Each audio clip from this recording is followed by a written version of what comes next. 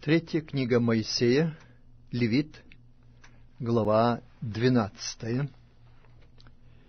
«И сказал Господь Моисею, говоря, «Скажи сынам Израилевым, если женщина зачнет и родит младенца мужского пола, то она нечисто будет семь дней, как во дни страдания ее очищением она будет нечиста. В восьмой же день обрежется у него крайняя плоть его, и тридцать три дня должна она сидеть, очищаясь от кровей своих, ни к чему священному не должна прикасаться, и к святилищу не должна приходить, пока не исполнятся дни очищения ее. Если же она родит младенца женского пола, то во время очищения своего она будет нечиста две недели и шестьдесят шесть дней должна сидеть, очищаясь от кровей своих.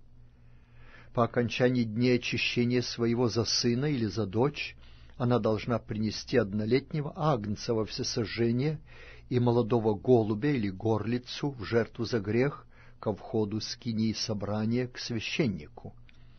Он принесет это пред Господа и очистит ее, и она будет чиста от течения кровей ее. Вот закон, родивший младенца мужского или женского пола. Если же она не в состоянии принести агнца, то пусть возьмет двух горлиц или двух молодых голубей, одного во всесожжение, а другого в жертву за грех, и очистит ее священник, и она будет чиста.